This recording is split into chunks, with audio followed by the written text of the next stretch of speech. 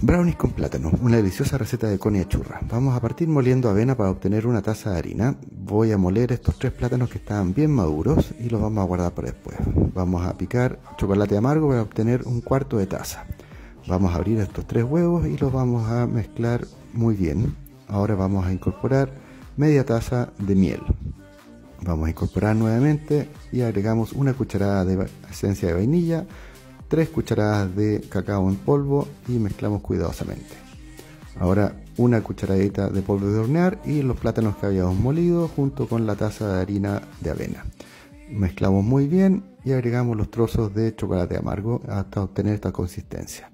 Vamos a poner papel mantequilla y vaciar todo el contenido de la mezcla. Agregamos nueces por encima y llevamos al horno por 20 minutos a 180 grados. Lo retiramos, esperamos que se enfríe y lo metemos al refrigerador por dos horas y estamos listos para disfrutar.